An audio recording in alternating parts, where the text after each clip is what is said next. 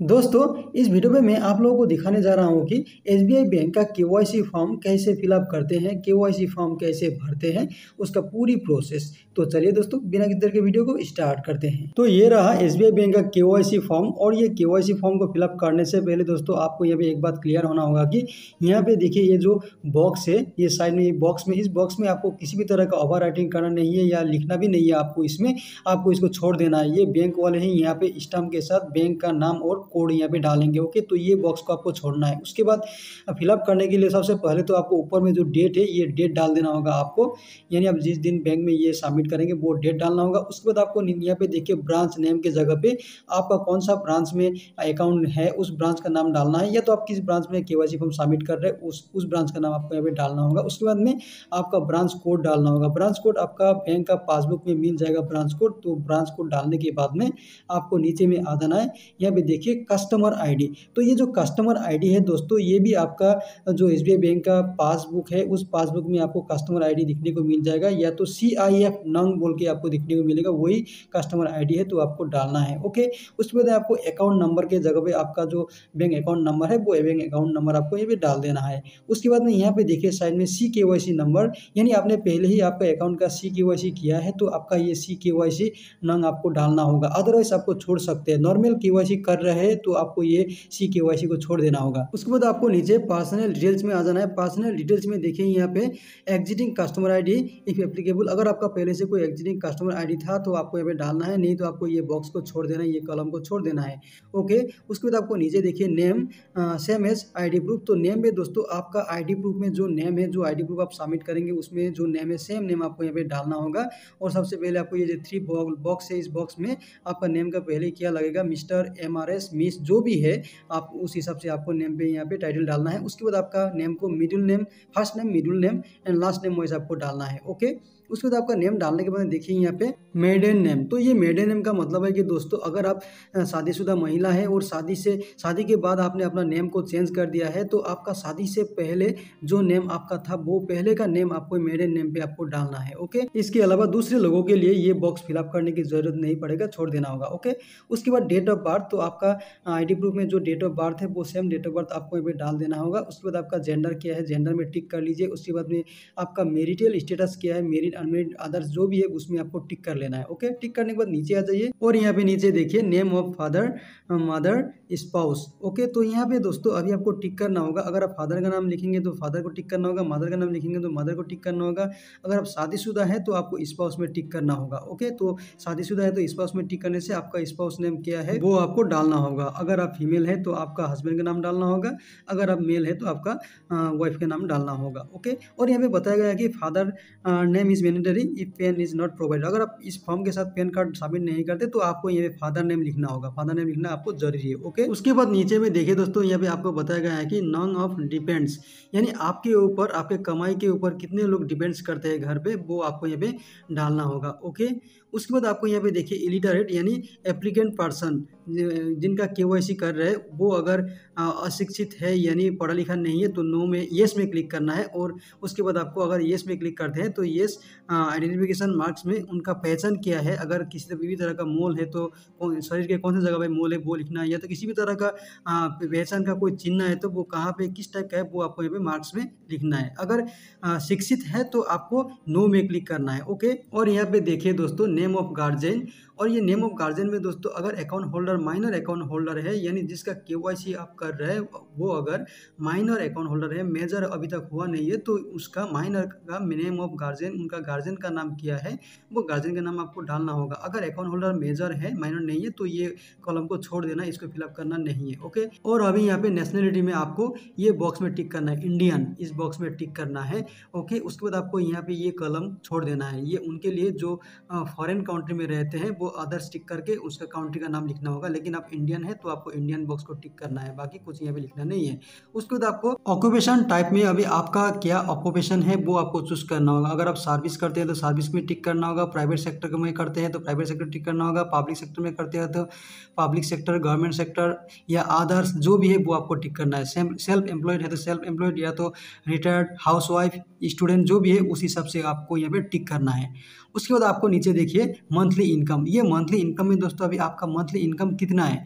आपका दस हज़ार, बीस हज़ार, तीस हज़ार, पचास हज़ार, जो भी है, वो मंथली इनकम आपको डालना है। उसके बाद नेटवर्थ में आपका कुल संपत्ति या प्रॉपर्टी आपको ये नेटवर्थ में डालना होगा। और ये दोस्तों ऑप्शनल है, आप चाहे तो इसको छोड़ सकते हैं, ये फिलअप नहीं करने से भी चलेगा। कोई प्रॉब्लम नहीं होगा। आप मंथली इनकम को भी छोड़ सकते हैं, ओके? उसके बाद में आपको नीचे देखिए सोर्स ऑफ़ इनकम। तो आपका जो इनकम है वो कहाँ से आता है? वो आपको यहाँ पे टिक करना होगा। अगर सैलरी से है तो सैलरी या तो बिज़नेस इनकम है तो बिज़नेस इनकम, या एग्रीकल्चर से है तो एग्रीकल्चर को टिक करना होगा। इन्वेस्टमेंट से है तो इन्वेस्टमेंट को टिक करना होगा। ओके पेंशन से तो पेंशन को टिक करना होगा या अदर कोई सोर्स है तो आपको अदर्स में टिक करना होगा, ओके? और उसके बाद आपको यहाँ पे आपका रिलीजन क्या है वो आपको टिक करना होगा, okay? Hindu, Muslim, Christian, Sikh या अदर्स जो भी है उसमें टिक करना है। उसके बाद आपका सोशल कैटेगरी क्या है? जनरल, ओबीसी, एसटी, एससी जो भी है उसमें आपको टिक करना है। और यहाँ पे नीचे में पर्सन विथ डिजेबिलिटी में दोस्तों, आप अगर विकलांग है तो आपको येस में क्लिक करना होगा, नहीं तो आपको नो में क्लिक करना होगा, ओके? अगर विकलांग है, येस में क्लिक करते हैं तो किस टाइप का है? विजुअली इम्पर्ड है या डिफरेंटली एबल एबल्ड है तो आपको ये बॉक्स में टिक करना होगा ओके उसके बाद आपका एजुकेशन क्वालिफिकेशन कितना है, वो आपको यहाँ पे ये बॉक्स में चेक करके टिक कर देना है।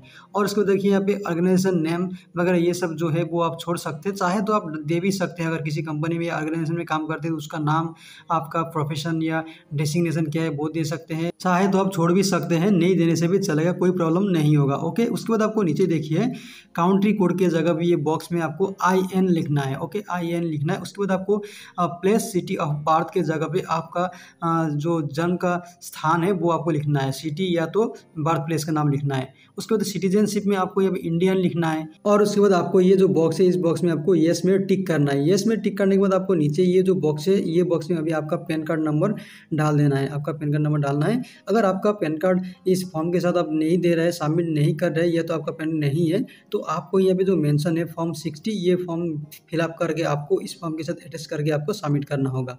ओके उसके बाद देखिए, नीचे में अभी आपको कॉन्टेक्ट डिटेल्स में आपको यहाँ पे अभी आपका मोबाइल नंबर और ईमेल आईडी डालना होगा। आप यहाँ पे जो मोबाइल नंबर या ईमेल आईडी डालेंगे, उसी में बैंक की ओर से आपको मैसेज या ईमेल वगैरह आएगा। ओके तो यहाँ पे आपका कॉन्टैक्ट डिटेल्स डाल देना है।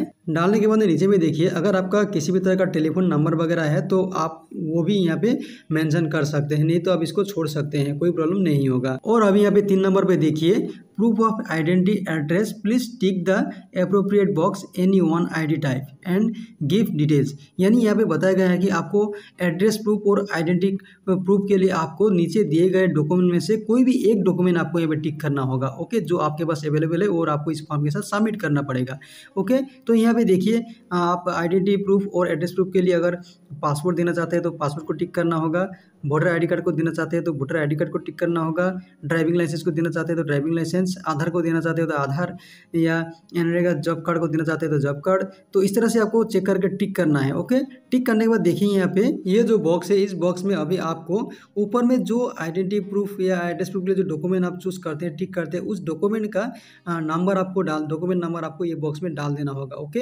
अगर आधार कार्ड चूज़ करते हैं तो आधार कार्ड का नंबर डालना होगा। इस तरह जो भी चूज़ करते हैं, उसका नंबर यहाँ पे डाल देना है। डालने के बाद नीचे इशू डेट एक्सपायरी डेट अगर उस डॉक्यूमेंट में या आईडी प्रूफ में किसी भी तरह का इशू डेट या एक्सपायरी डेट है तो आपको वो भी डालना होगा। अगर नहीं है तो आपको छोड़ देना है इशू डेट और एक्सपायरी डेट को ओके और उसके बाद अभी नीचे में देखिए एड्रेस डिटेल्स एड्रेस डिटेल्स में सबसे पहले तो आपका देखिए करेंट परमानेंट एड्रेस के लिए आपको एड्रेस टाइप चूज़ करना होगा। एड्रेस टाइप में अभी आप जो एड्रेस डालेंगे, वो एड्रेस अगर रेसिडेंशियल भी है बिज़नेस भी है तो आपको रेसिडेंशियल बिज़नेस को टिक करना होगा। अगर रेसिडेंशियल है तो रेसिडेंशियल को टिक करना होगा। बिज़नेस है तो बिज़नेस को टिक करना होगा। या ऑफ़िस है तो ऑफ़िस को टिक करना होगा। इस तरह से आपको टिक करना होगा। उसके बाद आपका ऊपर में जो एड्रेस या आइडेंटिटी प्रूफ के लिए जो डॉक्यूमेंट आपने चुना था, उस डॉक्यूमेंट में जो एड्रेस है, वो एड्रेस आपको यहाँ पे एड्रेस में डाल देना है ओके डालने के बाद में city village name district name, state name और पिन नंबर डाल देना है। ओके तो उसके बाद अभी यहाँ पे पाँच नंबर पर देखिए दोस्तों, एड्रेस डिटेल्स कॉरेस्पॉन्डेंस लोकल यानी आपका कम्युनिकेशन एड्रेस यहाँ पे डालना होगा।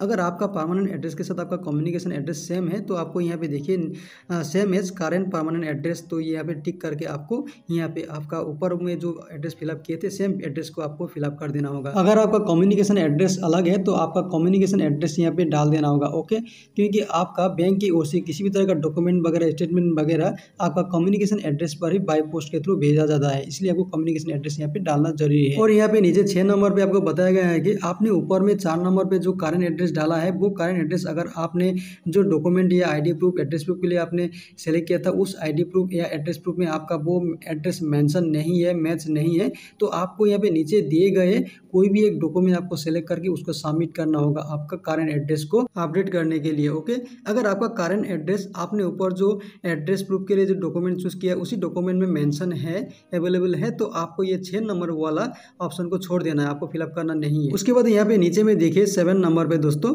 अगर आपने इस केवाईसी फॉर्म के साथ आपका आधार कार्ड को भी साथ में सबमिट कर रहे हैं तो आपको यहाँ पे येस में टिक करना है। अदरवाइज़ आप इसको छोड़ सकते हैं, अगर आधार कार्ड नहीं दे रहा है तो इसको छोड़ सकते हैं ओके उसके बाद आपको नीचे में आके देखिए यहाँ पे ये जो बॉक्स है, इस बॉक्स में अभी आपका पासपोर्ट साइज़ फोटोग्राफ आपको यहाँ पे चिपकाना होगा ओके आपका पाँच छः महीना पुराना वाला पासपोर्ट साइज़ फोटोग्राफ यहाँ पे चिपकाने से नहीं होगा। आपका नया रिसेंट खींचा हुआ फ़ोटो आपको यहाँ पे चिपकाना होगा। ओके उसके बाद देखिए, ये जो बॉक्स है, ये बॉक्स में अभी आपका सिग्नेचर यहाँ पे करना होगा। आपको किसी ब्लैक पेन से, यानी ब्लैक इंक वाला पेन से यहाँ पे सिग्नेचर करना होगा। अगर सिग्नेचर नहीं आता तो थाम इंप्रेशन भी यहाँ पे डालना होगा, जो जिससे सिग्नेचर नहीं आता उसके लिए। ओके अगर सिग्नेचर आता है तो ब्लैक पेन से सिग्नेचर करना होगा।